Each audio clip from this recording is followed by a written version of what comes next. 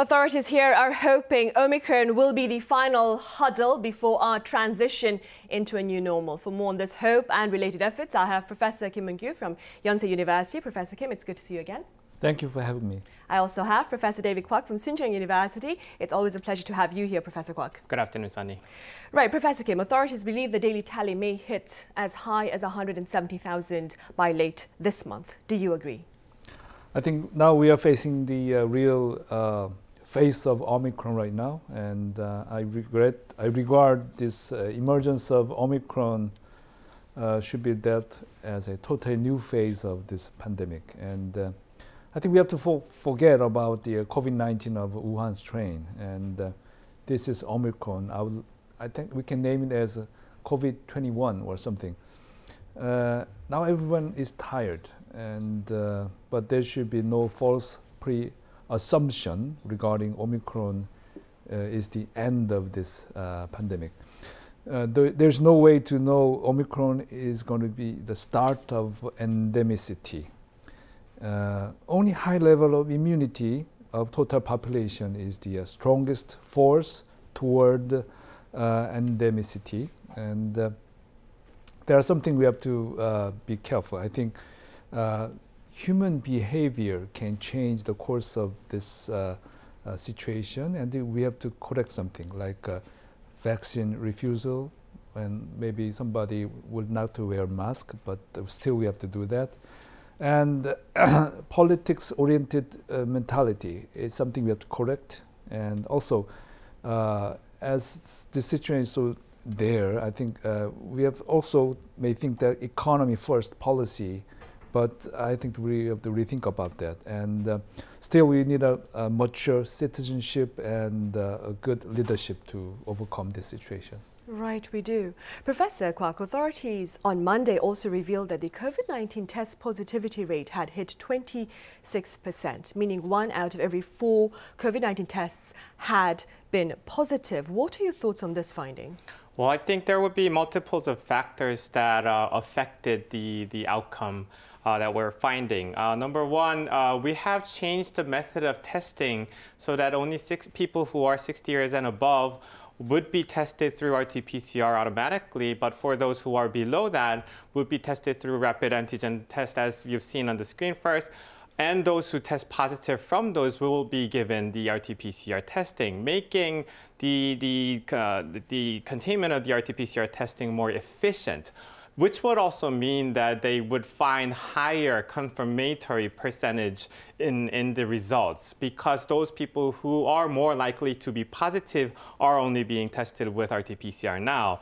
Also, the fact that we just overcame the, the holiday season over the past weekend or so would have drastically increased the chances of people being exposed to the virus itself, also increasing the chances that they're positive from the infection. So I think multiples of factors are um, really affecting the numbers, but also at the same time, as uh, Professor Kim already mentioned, we are seeing a very huge peak, uh, not peak, but very steep rise in the, the numbers. So the confirmation cases itself is really drastically rising, even though we're counting barely in around 30 to 40,000 uh, confirmation, uh, confirmation cases. I kind of uh, anticipate that we would, were um, actually uh, should be seeing around 60 to 70,000 possible cases uh, because not all of the people who are suspected of having the disease are currently being tested. So if that is so, that would also uh, count into the 20% of the confirmation cases that we're seeing. So the case itself, the infection itself, itself is uh, spreading and transmitting very fast. And it's really taking up the space in the, in the population itself. So I think it's just being represented more efficiently, but also at the same time numerically. Right, I see. Professor Kim, on a slightly reassuring note, however, the number of severely ill patients and fatalities has been retreating. Do you believe this trend will continue even as we continue to see an alarming surge in daily cases? Uh, I think we have ample reason to believe that way because the fatality of Omicron is only 0.16% compared to 0.8 of Delta variant. But uh, Professor Kwak mentioned, total confirmed cases are increasing unprecedentedly. And uh, Also, the reinfection of patients with previous COVID-19 is about five times if you're exposed to uh, Omicron compared to Delta. Uh, it's data from Mayo Clinic, and uh, so it is clear the number of severe cases is, is going to rise, uh, as we have seen in USA or UK or Israel, other countries. Thankfully, the ICU beds are less than 20% occupied right now, so that's a good news. But yeah, the total number is going to rise, and it's going to be like that for a while. So uh, uh, we have to prepare for that situation. Right. Professor Kwak, as Professor Kim mentioned, Israel, it's been a global leader in vaccine rollout, but despite that, the number of critical cases there and that of uh, COVID-19 deaths have been on an upward trend in recent days. How do you explain this phenomenon over in Israel? Well, it's very statistical. Um, so this actually matches to the cases happening in the U.S. when they found uh, over the, the uh, doubling of um, um, uh, admission rates among children with COVID 19, they actually found the children being admitted out of all those cases who are confirmed of the disease were actually lower than before. And I uh, traced back to Israel's case where they went from anything be, uh, around 400 of the daily confirmation cases and it steeply rised up to about 80,000 per day or per weekly. Now, having said that, the CFR, the case fatality ratio, and I must emphasize this is not entirely the correct or most accurate representation of what's happening, but still it's a good measure to um, follow uh, on these cases because it shows us really what's happening uh, uh, in regards to severity of the disease uh, among those who are infected in the actual numbers. The CFR rate actually hung around about 0.4% in Israel usually before the Omicron hit, and it actually went down to 0.3 uh, uh, when the numbers of cases of death and also ICU bed units increased drastically. And this is only up to about January 26, so it may even rise further back up. But uh, still going back to the original topic, I think uh, the number that's uh, taking up spaces in ICU beds is very likely to happen to us as well but the number itself does not uh, completely represent the severity or the direness of the disease from the Omicron. As also we have seen from the child, uh, children cases in the US, because when they mentioned that they were taking up uh, double the spaces that they used to, their rate of admission was uh, actually a half to a third about what's happening what's been happening before ratio-wise. So we, as uh, Professor Kim mentions, mentioned again, uh, uh, we in the near future, in about a week of time or a couple of weeks, we should also expect to see the uh, the numbers actually go up in the ICU capacity, uh, and we should prepare ourselves for that as well. Right. Professor Kim, back here in Korea, a new contact tracing system has been introduced as of this past Monday, with COVID-19 patients being asked to voluntarily submit related information, which will not be cross-checked by authorities. What do you suppose has prompted this shift in strategy, and how does it look to affect this latest resurgence in COVID-19 cases here in the country? Uh, I had a phone call on the way to the studio, and uh, one of my uh, friend got infected, and he was angry that nobody is interested in him. No, he had no phone call from anybody.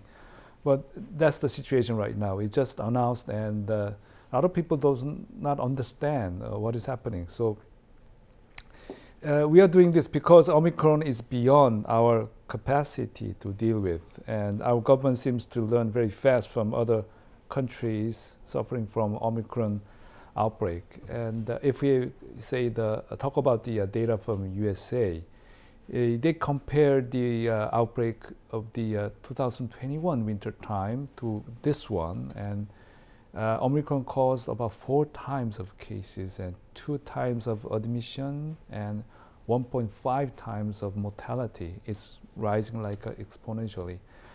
But uh, uh, that's the reason why we can no longer control this outbreak by tracing and testing and etc. So uh, there are multiple factors affecting this outbreak, and first of all, the human factor.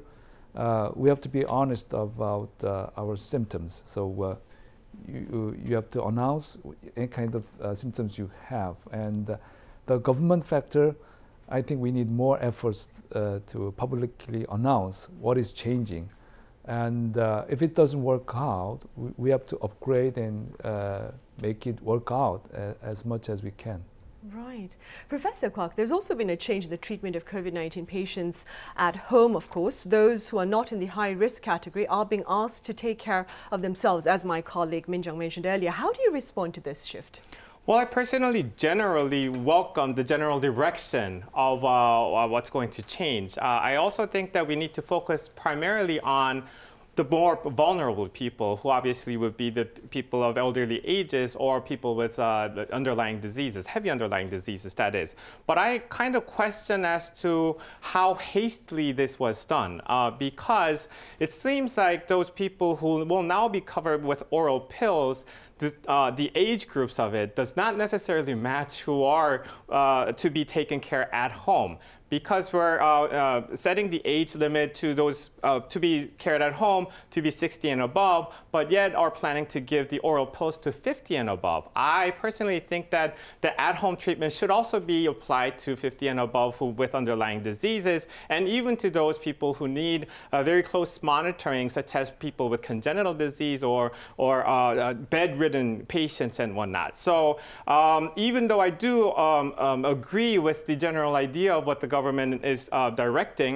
Uh, I also uh, uh, feel that government is kind of um, doing this so by the minute, as opposed to planning ahead, assuring the general population that they are completely taken care of what should be handled. So I think hopefully in the near future, the government will be able to come out more clearly uh, in its explanation of why they're taking these steps and also what could be done by the population to better handle the situation, such as that for, uh, as Professor Kim mentioned, for those people who are currently contained at home, who are to be taken care of, of themselves, they do not have a clear idea what to do with the disease. If they're to be sick, it's, it's a general um, guidance that they are to call the general clinic.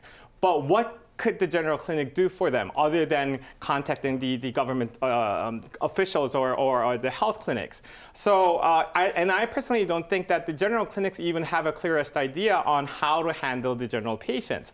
So I think um, it, it should be more efficiently done so as, a, a, a, as in planning the protocol or explaining to the general population why they're doing this, the purpose of this steps and so on, so that the people could understand what they can do uh, for themselves in uh, among the taking this, uh, of the steps, uh, not only for them uh, treating for themselves, but also for those people who need uh, treatment from higher up um, medical facilities. Right. And keeping in mind the concerns raised by Prof Professor Kwak, Professor Kim, what do you recommend to ensure an effective at-home treatment campaign?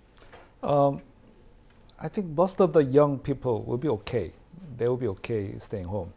But uh, you have to know uh, where you can contact uh, the clinics that's uh, seeing the patients, confirmed patients, and you might have to know the phone numbers you can contact during daytime and also during the nighttime. And uh, if, if you are getting worse, like a high fever or chest discomfort or dyspnea, you have to call them. But um, uh, I think uh, there's a small device called oximetry, which checks the uh, saturation, uh, oxygen saturation of, uh, from your finger. I think people might need that. Uh, I think there's a kit and it is included in it, but some people who is not getting that kit might have to prepare by themselves. And you have to install the application in your mobile phone and give answers to the symptoms you have. There are some medications like uh, Tylenol, some antipyretics, which might be necessary. And some physicians recommend vitamin D, vitamin C, zinc, but as an only minor effect. Usually, I would recommend that kind of uh, medications for people who are not sick yet, yet but exposed to uh, confirmed patients as a family member or something. And uh, the most important thing I would recommend is hydration. You have to keep yourself hydrated. Uh, you have to drink more water than uh, usual times, unless you have some kidney problems. And you can check it by urination. Should be plenty and should be very uh, should not be yellow colored or uh, dark colored. Right, and staying with medication, Professor Kwak, as you mentioned, the expanded use of Paxlovid to include all those age 50 and above, what are some things to bear in mind? Well, so this disease seems to have preferences in the what, uh, what kinds of underlying diseases that they target.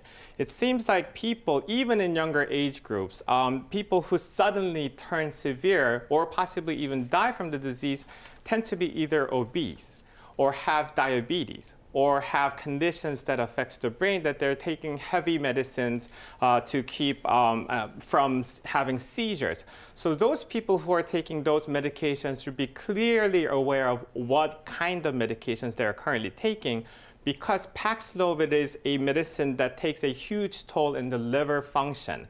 Uh, two parts to the medication. One part actually is a liver function decreasing agent to elongate the effect of the other. So which means that it's intentionally decreasing the metabolism, metabolism through liver.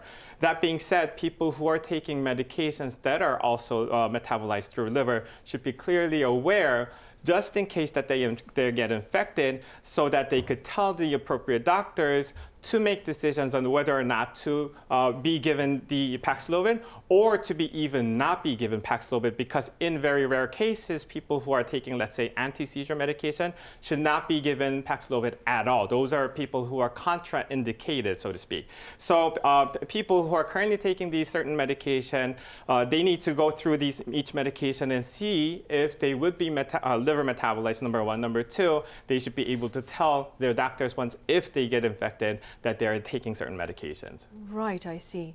Moving forward, Professor Kim, the academic arena has been granted authority with regard to learning amid Omicron and also the handling of infections within its grounds. What are your thoughts on this autonomous arrangement? They announced that the, uh, they're going to follow a 3-15 rule, which means 3% of students infected or 15% of infected or quarantined is reached. You, you can uh, uh, you can stop a school but uh, I would like to quote from uh, Little Prince. It says that what is essential is invisible to the eye. So I mean, there are going to be a lot of asymptomatic uh, students, and uh, there's a small study from uh, Imperial College London. They uh, did a COVID-19 human challenge trial, including 36 candidates, and about half of them were infected, but there were some a few numbers had a, a, asymptomatic infections also. So uh, I think school needs to keep that strict rules of social distancing inside class, uh, wearing mask and hand washing and disinfected uh, toilets and everything. And I'm a little bit worried about the uh, quality control of PCR test if it's done at school. And uh, each school has to decide whether uh, what kind of decision they're going to make. It's going to be a big burden and cause a lot of confusion for the students and the parents. So I think it's going to need upgrade uh, their st strategy soon.